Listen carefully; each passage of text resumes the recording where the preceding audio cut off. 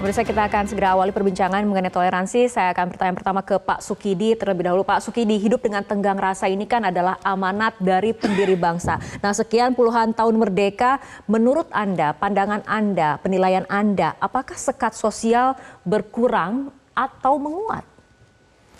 Saya kira kita uh, terpanggil untuk selalu membawa masyarakat kita pada pikiran dan keteladanan yang telah diletakkan oleh para bangsa. Hmm Bung Karno pada pidato 1 Juni 1945 hmm. memberikan satu wawasan kebangsaan hmm. tentang pentingnya bagaimana agama hmm. itu harus menumbuhkan spirit sikap dan attitude untuk saling memberikan rasa respect satu sama lain. Hmm. Jadi apa yang diperkenalkan sebagai civility, hmm. satu keadaban itu adalah manifestasi dari perwujudan agama dan iman yang benar. Mm-hmm. Agama dan iman yang benar harus selalu berwujud pada the ethic of civility, mm. etika keadaban.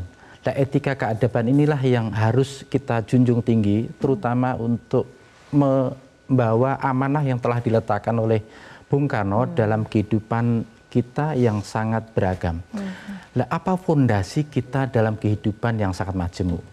Fondasinya kata Bung Karno adalah the spirit of mutual respect. Hmm. Sikap untuk memberikan respect yang setara kepada satu sama lain. Hmm. Karena itu egoisme agama itu harus dikubur mati hmm. karena itu menjadi penyakit dalam kehidupan bermasyarakat yang berbineka itu sendiri. Hmm. Spirit yang kita tumbuhkan adalah spirit yang memberikan satu kelapangan hati, kelapangan jiwa hmm. untuk selalu melihat mereka yang berbeda dengan kita adalah bagian dari warga negara yang perlu diberikan satu penghormatan karena mereka memiliki apa yang disebut dengan the dignity of human being. Mm-hmm. Harkat dan martabat manusia itulah yang sebenarnya menjadi inti dasar dari kemanusiaan kita. Okay. Kita tidak melihat mereka dari sisi agama, mm. dari sisi etnis, tapi semata-mata dari sisi kemanusiaan. Hmm. Dari sisi kemanusiaan itulah kita memberikan penghargaan kepada setiap manusia untuk selalu bisa untuk hidup berdampingan secara damai. Hmm. Saya kira ini kuncinya. Jadi fondasi pertama memang toleransi. Hmm. Toleransi sebenarnya fondasi dasar hmm. agar kita bisa hidup side by side, hmm. hidup berdampingan dengan uh, damai. Hmm. Tetapi toleransi saja tidak cukup karena apa? Karena toleransi itu fondasi yang sangat rapuh okay. untuk kehidupan yang sangat majemuk. Hmm. Toleransi itu harus disertai dengan spirit yang ingin saya tegaskan sebagai spirit kesetaraan. Okay. Kesetaraan karena apa? Karena kita semua adalah setara. Hmm. Bukan hanya di hadapan Tuhan, hmm. tapi di hadapan kita semuanya hmm. di depan konstitusi, hmm. di hadapan Indonesia kita semua setara. Okay. Implikasi dari spirit kesetaraan itu adalah kita harus selalu melihat satu sama lain dengan spirit kesetaraan itu sendiri. Oke, baik Pak Sukidi. Kita bergeser ke Pak Marsudi. Pak Marsudi, apakah masih ada keraguan di kalangan umat mengenai ideologi Pancasila itu sendiri? Ajaran agama sesungguhnya sudah membimbing. Mm -hmm. Namun karena setiap hari ada perubahan. Hmm. Yang tua meninggal. Hmm. Yang kecil bayi lahir. Hmm. Hmm. Yang lahir makin besar makin besar. Hmm. Mungkin terus menerus atau uh, mungkin belum paham. Hmm. Yang sudah paham lama-lama meninggal. Maka akhirnya hmm. kita berkewajiban terus menerus hmm. karena pergantian orang ini terus-menerus harus bisa mampu memberikan penjelasan mm-hmm. kepada anak-anak apalagi umur milenial. Mm-hmm. Banyak masih orang bertanya, apakah saya berbangsa dan bernegara di model negara Indonesia ini mm. sudah uh, sesuai dengan ajaran agama saya? Pertanyaan ini akan muncul terus sesuai dengan generasinya maka ketika ada pertanyaan itu kita nggak boleh berhenti untuk menyampaikan ajaran ini yang dimulai dari zaman ke zaman. Dari zaman sebelum Islam sampai masuk Islam. Okay. Agar ajaran agama Islam masuk membina untuk eh, bagaimana kita untuk bisa coexisting bersama-sama. Karena pada dasarnya bahwa nilai-nilai agama samawi yang telah disepakati bersama, artinya sepakat bersama di sini bahwa nilai-nilai agama samawi itu untuk nilai-nilai tasamuh, untuk nilai tasamuh atau tenggang rasa, toleransi, itu adalah sama. Untuk seluruh agama samawi sama. Antara nilai-nilai agama yang sama adalah wa minal kim alati ijtama'at alaiha syara'i asamawiyah kulluha nilai-nilai yang seluruh agama samawi itu sama antara lain adalah satu al-adl, keadilan. Kita harus berbuat keadilan sama semuanya. Dan ketika ajaran keadilan tidak hanya ada di agama Islam saja, semua agama keadilan. Nomor dua, tasamuh, toleran. Kita seluruh agama, agama samawi mengajarkan nilai yang sama, tasamuh. Wal wafa bila ahad. Bagaimana menepati janji. Jangan cuma di kampanye doang. Ya, menepati janjinya itu apa? Oke. Seluruh agama mengajarkan itu. Begitu pula wa adaul amanah. Melaksanakan amanah. Orang itu dikasih kepercayaan harus amanah. Itu seluruh agama juga sama nilai ini. Wasidku fil akwali wal af'al. Bagaimana membuat statement kalimat-kalimat yang benar. Tapi juga perilakunya. Perilakunya sama dengan perkataannya. Jadi ketika kampanye ngomong itu, nanti besok ketika melaksanakan programnya juga harus itu. Ada konsistensi seperti Ada- itu ya? Iya harus gitu. Ini seluruh agama samawi mengajarkan sama. Wasidku fil akwal wal af'al, terus kemudian wabirul walidain. Itu termasuk menghormati orang tua. Menghormati para pendahulu kita, menghormati para founding fathers kita, dan menghormati pikiran-pikiran orang yang terdahulu yang telah menancapkan ajaran moral, akhlak, etika di Nusantara ini yang secara kita coba bangsa Indonesia itu termasuk bangsa yang ramah. Tapi kenapa tiba-tiba kok muncul kayak sesuatu yang menakutkan? Nah padahal itu kita diajari ramah. Ramah itu tidak hanya dalam satu agama dengan agamanya sendiri. Untuk semua-muanya. Nah itu birul waliden. Wa hurmatu malil yatim. Bagaimana kita mengelola eh, dan menjaga anak-anak yatim orang yang tidak mampu. Itu seluruh agama juga sama. Oke. Kalau ketika ada orang tidak mampu, kita kok ada sedikit, itu nggak perlu bertanya mau ngasih minuman, ngasih makanan, bertanya agamamu apa. Nah ini eh, ketika demikian, ini nilai yang sama termasuk wamuro atau hakil jiwa, menjaga hak-hak bertetangga. Oke. Tidak hanya tetangga kita individu sekarang, tapi bisa bertetangga bagaimana dengan eh, negara. Oke. Negara kita bertetangga juga bagaimana caranya menjaganya. Yang besok kita akan dengarkan itu capres-capres mau ngomong tentang ini. Oke. Wal kalimatut thayyibah adalah kalimat yang baik-baik, tidak hoax. Oke. Nah, ini antaranya yang sama. Tapi terakhir, Ya.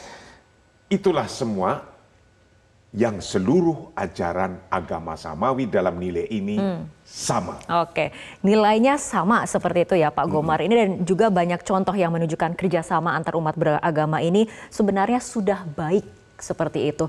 Tapi ke- seperti misalnya contohnya saling menjaga saat hari raya. Tapi kan kita ketahui di sisi lain masih muncul konflik terkait misalnya rumah ibadah atau adanya kasus persekusi seperti itu Pak Gomar. Tanggapannya? Ya, memang di satu sisi toleransi kita kan menjadi eh, warisan yang luar biasa. Dia menjadi DNA bangsa kita gitu ya. Tetapi kan toleransi itu tidak taken for granted gitu. Dia harus diperjuangkan dan dipelihara terus. Nah, ada satu kekuatan yang menghantui kita terus bawaan lahir kemanusiaan kita tadi disebutkan oleh Pak Sukidi itu ego Eh, egosentrisme itu kan ada di setiap orang dan penganut agama sih tidak tapi penganut agamanya juga memiliki egosentrisme ini. Dan ini yang ganggu toleransi ini kan? Nah di sini yang menurut hemat saya dibutuhkan konstitusi dan produk-produk hukum turunan dari konstitusi untuk menjaga toleransi itu tetap terpelihara gitu. Oke. tapi tidak cukup hanya hukum, tapi juga dibutuhkan pemimpin yang eh, apa menegakkan hukum gitu, law enforcement itu jalan gitu. Nah, yang terjadi belakangan ini saya saya bisa katakan adalah di satu sisi hukum kita belum sempurna sepenuhnya, masih ada regulasi kita yang diskriminatif, masih ada di sana sini. Tetapi yang lebih parah lagi, para pemimpin membiarkan gitu, membiarkan intoleransi. Nah, contoh yang disebutkan Pak Sukidi tadi kan bangsa pendiri bangsa ini negarawan gitu. Dan kita sekarang ini kehilangan keteladanan dari pemimpin yang bersifat kenegarawanan gitu. Di mana dia setia pada konstitusi. Yang ada sekarang konstitusi dikangkangi demi konstituen gitu. Nah ini ini sumber intoleransi sesungguhnya. Di sisi lain, udahlah dia lebih ke eh, kon- apa kons- konstituen. Dia juga apa ya membiarkan tadi saya sudah sebutkan pelaku-pelaku yang intoleran itu tadi Eh, impunitas terjadi apalagi kalau pelakunya itu atas nama agama. Dan ini yang sering terjadi. Contoh-contoh yang disebutkan juga tadi di pengantar kita, rumah-rumah ibadah sulit berdiri, itu lebih eh, saya kami belum terlalu yakin penelitian kami di PG bahwa itu sifat umum dari masyarakat yang menolak ini. Ini lebih karena dipergunakan oleh kepentingan-kepentingan elektoral. 8, 80% dari kasus-kasus penutupan gereja menurut penelitian setara institut itu terkait dengan kepentingan elektoral. Jadi tidak murni ada satu dua tapi tidak murni itu katakanlah dalam hal ini yang keberatan umat muslim misalnya. Tidak murni karena dorongan eh, intrinsik dari penganut agama yang menolak itu. Lebih karena kepentingan-kepentingan elektoral dan dan di sini mestinya yang saya katakan tadi negara hadir, jadi hukum diberlakukan, tapi negara juga menegakkan hukum itu. Itu yang kurang sehingga toleransi kita terganggu. Oke. Pengalaman kami di PGI di berbagai daerah di Indonesia, toleransi kita sangat baik. Kami menyelenggarakan persidangan gereja itu panitianya, pelaksananya umat dari di luar Kristen banyak. MTQ juga berlangsung, umat Kristen ikut. Pesparawi berlangsung, umat Muslim ikut semua. Di berbagai daerah kan itu pengalaman. Tapi ada kasus-kasus di daerah-daerah tertentu yang memang ya itu tadi ya, Pak Kiai bilang ini ada unsur politik, diprovokasi. dan Di situ pentingnya negara hadir, Hmm, Oke. negarawan hadir.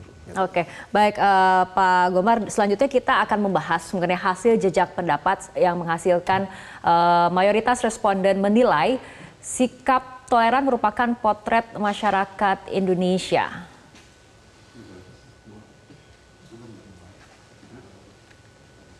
Nah itu pemerintah optimal belum? Ya, seperti itu. Eh, kita lihat eh, apa kemudian tanggapannya. Oh, kita lihat dulu eh, pollingnya sebentar lagi adalah mengenai pertanyaan apakah sikap toleran merupakan potret masyarakat Indonesia. Jawabannya masih mendominasi adalah iya. Sikap toleran merupakan potret masyarakat Indonesia, sementara yang mengatakan tidak adalah 16 persen. Silakan Pak Marsudi tanggapannya. Ini kan kemudian memang sebetulnya eh, sejarah penyebaran Islam sendiri oleh Wali Songo kan syarat pesan moral toleransi. Tapi ya tadi katakan oleh eh, Pak Gomar ada beberapa kasus masih muncul gesekan dan konflik horizontal yang masih terus terjadi. Ini kenapa? Kalau ajaran agamanya kan sesungguhnya sudah selesai. Tinggal aplikasi dalam ajaran agama itu sendiri. Kenapa kita ada lakum tinukum dalam Islam? Eh, itu kan sesungguhnya kita harus mengajarkan tidak cukup hanya jadi ilmu. Oke. tapi bagaimana mempraktekkan di dalam kehidupan sehari-hari eh, tentang pengetahuan agama itu. Negara kita itu, negara Pancasila itu sesungguhnya negara yang menurut agama Islam pun itu sudah sesuai dengan ajaran yang agama kita Islam itu eh, mendirikan sebuah negara seperti negara Madinah. Negara Madinah itu kan potret kebersamaan dari semua agama. Karena di dalam negara Madinah ada Islam, ada Yahudi, ada Nasrani, Oke. bahkan ada Majusi. Majusi itu eh, kalau ini uh, agama penyembah api lah. Jadi lokal lah gitu, bukan, bukan samawi. Kalau di Indonesia kan juga banyak di di negara lain juga banyak. Tapi bagaimana kita bisa bersatu bersama-sama, saling menghormati, saling koeksisten, itu dibikin undang-undangnya. Baik. Aturannya di, eh, dibikin, nah, undang-undangnya da- dalam piagam Madinah bunyinya begini. Waman lahikobihim, wajahada ma'ahum, innahum umatun wahidah. Barang siapa yang sudah sepakat bersama-sama mendirikan sebuah negara, walaupun berbeda-beda backgroundnya itu, waman lahikobihim, wajahada ma'ahum, Oke. dan mau berjuang bersama-sama untuk memaja- memajukan negara ini, maka sebutannya apa? Oke. Innahum umatun wahidah. Mereka itu walaupun berbeda adalah bangsa yang satu. Baik. Kita eh, Pak Marsudi kita akan bergeser kepada jajak pendapat berikutnya yang menghasilkan mayoritas responden pemerintah belum optimal menegakkan HAM yang mengatakan belum bahkan sebanyak 66 persen sementara yang mengata- mengatakan sudah sebanyak 34 persen. Saya akan ke Pak Sukidi. Eh, Pak Sukidi, penegakan hukum kan ini merupakan tugas dari negara seperti itu ya. Menurut Anda sendiri bagaimana sejauh ini perlindungan terhadap minoritas terutama? Sebenarnya kalau kita eh, melihat kembali apa yang diamanahkan oleh para pendiri republik, para pendiri republik tidak menggunakan kategori mayoritas dan minoritas Iya. dalam konteks keindonesiaan. Justru mereka hadir untuk memberikan satu kepastian bahwa negara ini untuk melindungi seluruh warga negara Indonesia. Karena itu prinsip dasar yang perlu kita sadari sejak awal bahwa republik ini didirikan untuk melindungi semua. Karena itu kategori mayoritas dan minoritas itu menjadi tidak relevan dalam konteks republik karena republik ini didesain untuk semua itu pertama. Yang kedua dalam konteks itu adalah apa yang menjadi pesan dari para pendiri republik adalah kesadaran bahwa kita semua adalah setara sebagai warga negara. Karena kesetaraan itu, maka negara harus memberikan jaminan yang adil dan setara kepada semua warga negara, lepas dari agama dan keyakinannya. Karena itu, tanggung jawab negara adalah menegakkan konstitusi yang memberikan jaminan keadilan dan kesetaraan kepada semua. Nah, jaminan keadilan dan kesetaraan inilah yang masih jauh dari apa yang diimpikan oleh ibu dan bapak pendiri bangsa. Karena apa? Karena misalnya ada satu kota di mana umat Kristiani merasakan kesulitan untuk mendirikan rumah ibadah. Padahal kebinekaan itu mensyaratkan bahwa setiap warga negara dan setiap umat beragama mestinya memperoleh hak yang setara untuk beribadah sesuai agama dan keyakinan. Kalau jaminan konstitusional untuk beribadah ini diberikan oleh konstitusi, maka otomatis jaminan untuk mendirikan rumah ibadah itu adalah konsekuensi lebih lanjut dari jaminan tentang kemerdekaan keyakinan yang adil dan setara. Maka kemudian rumah ibadah itu juga bagian dari kebebasan yang mestinya dimiliki oleh setiap warga negara untuk mendirikan rumah ibadah masing-masing. Dan itulah simbol dari kebinekaan yang menjadi falsafah kita dalam kehidupan keindonesiaan. Oke. Kebinekaan itu sebenarnya mensyaratkan bahwa kita ini harus memperlakukan semuanya secara adil dan setara karena kita memang berbineka dari segi apa pun. Oke. Karena itu syarat utama kebinekaan itu adalah kesadaran untuk menjiwa bahwa kita memang berbineka dan karena itu sikap yang terbaik adalah memberikan respek yang setara kepada semuanya. Oke, baik Bapak-Bapak kita akan lanjutkan kembali diskusi pada malam hari ini, tapi kita harus ikuti headline news berikut terlebih dahulu.